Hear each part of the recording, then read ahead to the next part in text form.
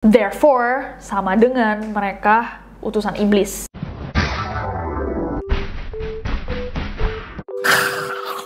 Hey guys, it's Nessie and welcome back to Neror. Beberapa waktu lalu kita sempat membahas tentang teori konspirasi yang ada di Korea Selatan dan tentunya kalian yang udah follow Neror lama tahu seberapa sukanya kita sama teori konspirasi. Tahu bahwa salah satu specialty-nya Neror adalah teori konspirasi. Baik teori konspirasi yang kita sudah pernah bahas bersama kayak teori konspirasinya Amerika Serikat, akun 5 Minutes Craft-nya Rusia, teori konspirasi Pizzagate, teori konspirasi kartun-kartun terkenal, dan masih banyak lagi. Tapi salah satu yang paling banyak di request adalah teori konspirasi tentang Indonesia. Dan aku udah berapa kali ngomong di media-media lain juga bahwa banyak hal yang kita harus timbang-timbang ketika bahas. Tapi memang ada teori konspirasi-teori konspirasi yang kerap muncul dan seru untuk dibahas. Seperti akhir-akhir ini banyak dari kalian juga ngetek kita di banyak teori konspirasi yang sedang beredar saat ini dan kita akan bahas bersama-sama. Sebelum kita masuk ke teori-teori konspirasinya, sekali lagi lagi aku ingin mengingatkan definisi dari konspirasi. Menurut Oxford Dictionary, conspiracy is a secret plan by a group to do something unlawful or harmful. Konspirasi merupakan rencana rahasia yang dibuat oleh sebuah grup atau komplotan untuk melakukan tindakan yang melawan peraturan atau berbahaya. Nah, teori konspirasi adalah teori yang berusaha menjelaskan rencana-rencana rahasia tadi atau apa yang sebenarnya terjadi di balik sebuah peristiwa. So, apakah teori konspirasi sama dengan fakta Tentu bukan, tolong capkan. Dan timbang-timbang sendiri, apakah kalian percaya atau tidak? Malam ini di Neror kita akan membahas bersama-sama teori konspirasi Indonesia yang baru-baru ini viral di media sosial. So without any further ado, stop senyum-senyum, cause shit's about to go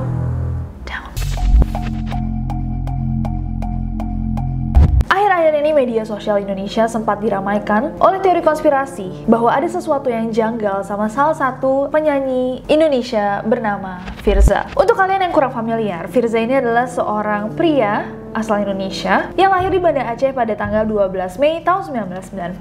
Firza adalah seorang penyanyi yang mulai terkenal saat dia menjadi juara tiga dalam ajang pencarian bakat pada tahun 2014. Nah, kalau misalkan kalian ingat, kita pernah sebelumnya membahas tentang teori konspirasi yang berhubungan sama Avril Lavigne, di mana banyak sekali orang percaya bahwa Avril Lavigne yang asli itu sudah tidak ada, sudah meninggal dan digantikan sama clone duplikat agar karirnya tetap bisa berlanjut dan orang-orang yang mendapatkan uang tentunya dari sosok Avril Lavigne ini tetap bisa meraup untung. Nah, muncul teori konspirasi yang mengatakan bahwa Firza yang saat ini ada itu bukanlah Firza yang asli, melainkan hanyalah seseorang yang menyerupai Firza. Teorinya mengatakan bahwa sosok Firza yang asli itu diduga sudah tidak ada sejak akhir tahun 2016. Kemudian pada pertengahan 2017, Firza ini kembali ke the public's eye, ke mata publik, tapi bukan lagi Firza yang sama. Teori yang satu ini didukung oleh beberapa bukti foto, seperti salah satunya yang menunjukkan bahwa bola mata Firza itu berbeda warnanya di tahun 2016 dan di 2022. Ada juga yang mengatakan bahwa Firza yang kita lihat sekarang itu berbeda sifatnya sama Firza sebelumnya. Sekitar awal 2017, Firza ini sempat menjadi host di salah satu stasiun televisi dan dia terlihat sangat ceria dan humoris. Tapi pada 2022 dia terlihat menjadi orang yang sangat pendiam dan serius. Salah satu bukti yang digadang-gadang oleh orang-orang yang percaya sama teori konspirasi ini adalah bahwa beberapa kali saat Firza ini di interview, dia terlihat bingung dengan pertanyaan-pertanyaan yang dilontarkan oleh host.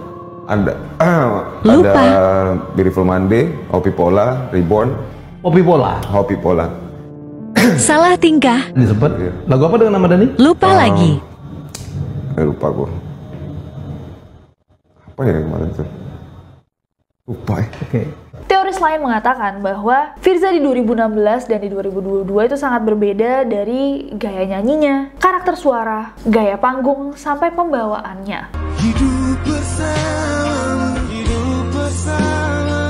Ada juga tanda-tanda fisik yang disadari oleh para fansnya, di mana sebelumnya Firza tidak memiliki tai lalat di atas alisnya, tapi sekarang di foto-foto terlihat ada tanda fisik yang berubah. Beberapa fansnya juga sadar di tahun 2017 ketika dia menghilang, atau dibilang menghilang, dan akhirnya kembali, dia tuh memulai postingannya dengan foto-foto yang diambil dari jarak jauh yang tidak menunjukkan wajahnya secara detail. Nah, gimana menurut kalian tentang teori konspirasinya Firza ini? Apakah teori-teori ini hanyalah kebetulan saja? Mungkinkah ada kebenarannya? Atau mungkinkah ini teori yang sengaja dibuat malah oleh timnya sendiri sebagai strategi marketing agar orang-orang mencari tahu lagi tentang Firza dan lagu-lagunya? Atau teori lain mungkinkah dia menghilang karena dia memiliki penyakit yang menyebabkan dia terlihat lebih kurus jadi fisiknya berubah dan juga menjelaskan perbedaan di sifatnya atau saat dia kelihatan bingung saat menjawab atau kalian termasuk orang-orang yang percaya bahwa Firza yang asli sudah tidak ada dan digantikan oleh orang lain dengan tujuan yang sama seperti teori konspirasi Avril Lavigne? Coba komen di bawah.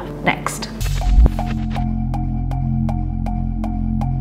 Next ada teori konspirasi Ibu Sartika. Ibu Sartika siapa nih sih? Kalian kalau nggak tahu, klip ini nggak mungkin. Ketika aku menjalani hari yang cukup sedih, aku harus mencari video ini karena she lights up my day. Kalian pasti nggak asing sama ibu yang satu ini.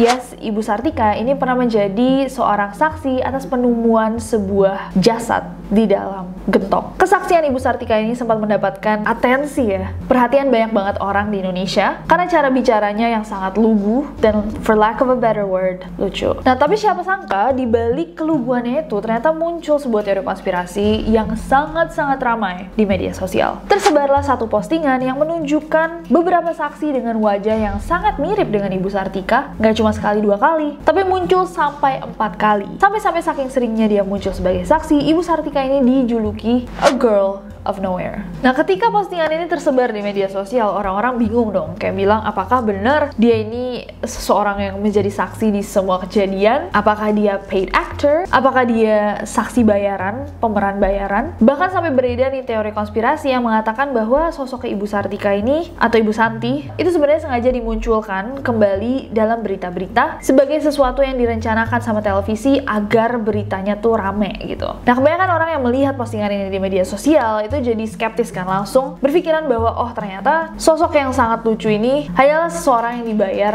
oleh news outlets. Tapi we took it upon ourselves to do some research dan NCC menemukan bahwa ternyata dari postingan yang tersebar online itu yang menunjukkan empat varian dari Ibu Santi atau Ibu Sartika ini sebenarnya bukanlah dari empat kasus yang berbeda. Melainkan keempat foto ini memang datang dari beberapa stasiun televisi yang berbeda namun memberitakan hal yang sama yaitu penemuan mayat di dalam drum. So kita tutup teori konspirasi yang satu ini kecuali kalau memang muncul berita lain yang masih menggunakan Ibu Sartika sebagai saksi. Or even worse, ternyata dia memang menjadi saksi atas tragedi lainnya. Hmm. What do you guys think? Komen di bawah. Next. Dan teori konspirasi yang terakhir. Kalau teori konspirasi yang satu ini nggak viral cuman baru-baru ini, it has always been talked about. Warga Indonesia mana yang tidak tahu sama salah satu ikonnya kota Jakarta yang satu ini? Bundaran Hotel Indonesia atau yang lebih dikenal dengan nama Bundaran HI. Kalau dilihat sekilas, itu kayak bundaran-bundaran pada umumnya. Hanya saja memang ukurannya lebih besar. One of the most beautiful spots in town, salah satu spot paling cantik di kota Jakarta yang ternyata memiliki teori konspirasi yang cukup menarik. Jadi, kalau kita melewati saja jalan Bundaran HI, yang akan kalian lihat di sekitar kalian ada Grand Indonesia, Grand Hyatt, Hotel Kempinski, Plaza Indonesia, all the fancy schmancy spots. Tapi, jika kalian lihat Bundaran HI dari atas, banyak yang percaya bahwa kita akan bisa melihat the all seeing eye. The all-seeing eye atau mata ilahi atau the providence eye juga disebut mata satu. Ini merupakan sebuah simbol, sebuah mata yang dikelilingi sama cahaya dan biasanya dikurung dalam segitiga. Mata ini merupakan simbol mata Tuhan yang mengawasi semua yang terjadi di dunia serta memiliki kekuasaan atas kematian, kelahiran kembali, dan keabadian. Mata ilahi ini juga digunakan sama Ordo Illuminati atau juga sering dikaitkan sama Freemasonry, terutama sejak tahun 1797 saat simbol ini menjadi bagian dari ikonografi Freemason. Nah sebelum kita bahas lebih lanjut, alangkah baiknya kita mengenal sebenarnya apa sih Illuminati sama Freemasonry ini. Kebanyakan orang di sekitar kita itu beranggapan kalau misalkan semua yang berlambang mata satu itu berhubungan sama Illuminati dan menganggap bahwa Illuminati sama Freemasonry itu adalah hal yang sama. When in fact, ini adalah dua grup yang berbeda. Kita bisa membahas tentang lebih detailnya Freemason sama Illuminati dan histori mereka kalau misalkan kalian mau in a separate video. Di video yang berbeda, tinggal request aja di bawah. But, untuk merangkum, Illuminati ini dibentuk oleh seorang profesor yang bernama Adam Weishaupt di tahun 1776. Pada zaman itu, segala hal itu dikontrol sama gereja, dan karena dipercayakan dengan power yang sangat masif, terjadi banyak kesenggangan, banyak power abuse, banyak keputusan gereja yang tidak disetujui oleh masyarakat. Jadi pada zaman itu, banyak banget keputusan-keputusan dari gereja yang menindas kebebasan berpikir orang-orang. Nah, Adam akhirnya membentuk nih satu kelompok bersama orang-orang terpelajar dan menamakan grup itu sebagai The Illumination. Pencerahan. Mereka menyatukan ide-ide yang dapat diterapkan untuk mengubah cara negara-negara di Eropa itu dijalankan. Nah, kenapa bisa dihubungkan sama iblis, Lucifer, dan lain-lain adalah karena orang-orang pinter ini kan menggunakan science, menggunakan basis ilmu pengetahuan yang melawan gereja. Jadi orang-orang pada zaman itu bilang bahwa mereka basically tidak percaya sama ajaran gereja, therefore sama dengan mereka utusan iblis. Yang sebenarnya cannot be further from the truth. Nah, kelompok yang satu lagi, Freemasonry atau Freemason, itu udah ada sejak 1717, sekitar 60 tahun sebelum The Illuminati. Nah, pemikiran saat dibentuknya Illuminati itu memang mengambil dari Freemasonry, termasuk lambang mata satu yang digambarkan sebagai The Supreme Architect atau Sang Arsitek Agung, Tuhan. Tapi sebenarnya lambang mata satu ini nggak satu-satunya simbol yang digunakan sama Freemasonry. Lambang yang biasa mereka gunakan itu adalah the square, compasses, dan huruf G. Basically, Freemasonry ini bukanlah sebuah agama, melainkan sebuah kelompok yang dibentuk dengan tujuan untuk membangun diri menjadi manusia yang berintegritas. Dan Freemasonry ini menyediakan struktur untuk seseorang mencapai tujuan tersebut. Our ceremonies are based around three principles that are still taught in our ceremonies today. Look after those less fortunate, improve yourself, and live life well so as to be remembered for the right reasons. Hmm, jadi ketika seseorang mau jadi Mason itu nama membernya, mereka tuh akan melakukan sebuah upacara kecil seperti penobatan. Dan yang menarik mungkin ini yang membuat teori konspirasinya adalah mereka tuh diminta untuk merahasiakan kegiatan yang dilakukan oleh Freemason. Freemason di Indonesia. Tracing its history back, sebenarnya Freemason itu udah ada di Indonesia sejak tahun 1736.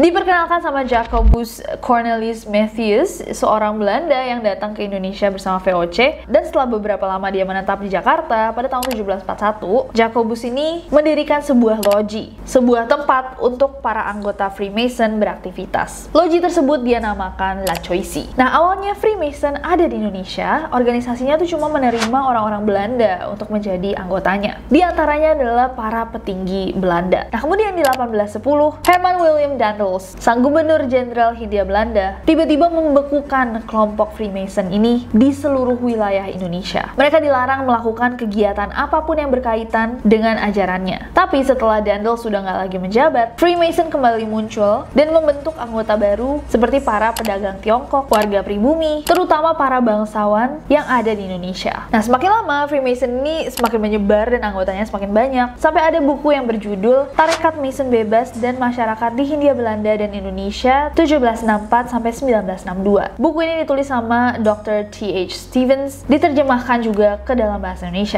Dan di bukunya dijelaskan pengertian tentang tarekat Mason bebas yang masih berhubungan sama Freemasonry. Bahkan di dalam bukunya tertulis juga beberapa tokoh nasional Indonesia yang sempat menjadi anggota Freemason, seperti Raden Saleh, Sultan Hamengkubuwono ke-8, beberapa anggota organisasi Budi Utomo, termasuk ketua pertamanya Raden Adipati Tirto Kusumo yang menjadi anggota Freemason di tahun 1895. Ketua Budi Utomo di tahun 1911 sampai 1914 juga ada Pangeran Aryo Noto Dirojo di tahun 1887, Ketua BPUPKI Dr. Rajiman Wedyodiningrat 1906, dan banyak tokoh-tokoh lain yang disebut di buku tersebut. 1945 sampai 1950, loji-loji Freemason itu semakin banyak dibangun dan Freemason menjadi salah satu kayak organisasi yang sangat populer di Indonesia. Semakin banyak nih masyarakat Indonesia yang bergabung, meskipun banyak orang yang akhirnya gabung itu bergabung hanya untuk menyambung hidup ataupun melindungi diri dari masalah politik. Jadi mungkin karena organisasinya udah lama ya, jadi yang awalnya sebenarnya maksudnya organisasi ini untuk lebih kayak tempat berkumpul orang-orang yang ingin memperbaiki diri, menjadi orang berintegritas, walaupun masih ada nih agenda-agenda yang tidak di-share gitu ke publik apa aja yang mereka lakukan. Tapi di awal lebih seperti organisasi yang isinya ada orang-orang penting. Lama-lama mungkin agendanya mulai berubah. Gak sedikit nih jadinya masyarakat Indonesia yang mulai resah sama adanya loji-loji Freemason tersebut. Bahkan orang-orang yang di sekitar loji-loji itu bilang atau percaya bahwa mereka tuh ngedenger para anggota Freemason ini melakukan ritual kayak pemanggilan arwah orang yang sudah mati. Semakin banyak yang resah, semakin banyak yang nggak suka. Karena klubnya eksklusif juga dan nggak boleh cerita gitu di dalamnya ada apa. Orang-orang kan jadinya cuma bisa mengira-ngira dan menakar-nakar gitu. Mulai muncul teori-teori yang sangat wild sampai terdengar ke Presiden pertama Indonesia, IR Soekarno. Pada Februari tahun 1961, Presiden Soekarno memutuskan untuk membubarkan dan melarang keberadaan Freemason di Indonesia.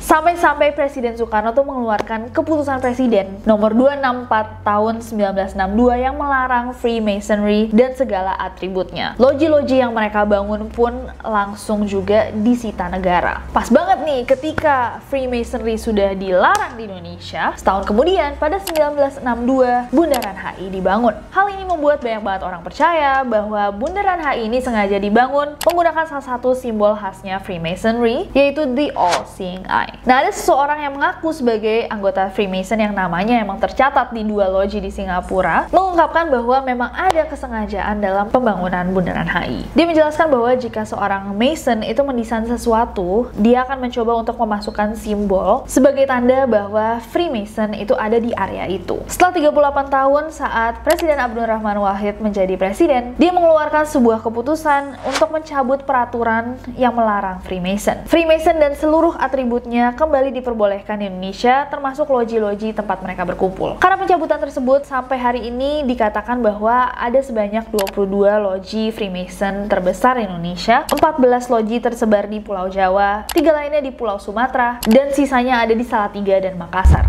Very interesting history lesson, walaupun masih ada pertanyaan-pertanyaan dari organisasi Freemason, aku mau lempar ke kalian, apakah kalian percaya bahwa agenda-agenda rahasia dari kelompok ini itu berhubungan sama sesuatu yang gaib, iblis bahkan, atau mungkinkah mereka hanyalah organisasi tempat orang-orang berbagi pikiran, mencoba menjadi orang-orang yang lebih baik, atau mungkin teman-teman politik, I don't know. Coba komen di bawah, atau mungkin ada yang punya pengalaman menjadi anggota. I don't know if it's safe, tapi kalau misalkan kalian mau share di bawah, boleh banget. Atau tahu orang yang pernah menjadi anggota Freemason, apa sebenarnya rahasia-rahasia yang ditutup-tutupi, yang tidak boleh di-share tadi. But by history sebenarnya sangat menarik untuk membahas tentang Illuminati dan Freemasonry dan semua jejaknya. So komen di bawah kalau misalkan kalian mau kita bareng-bareng dan semoga video ini menarik dan informatif aku tahu kemarin ada siapa yang bilang neteor nesi teori konspirasi ada yang bilang mereka exclusively suka teori konspirasinya neror so I guess this is for you dan komen di bawah apa yang seru untuk kita bahas next time. But other than that, I hope that you guys enjoyed this video. Kalau misalkan kalian suka videonya, klik like ya, follow aku di Instagram dan Twitter gampang banget. Nasi jajan dan subscribe ke channel ini juga nyalain notification-nya biar kalian tahu kalau misalkan aku upload video baru. Karena aku sabar buat ketemu. Bye bye.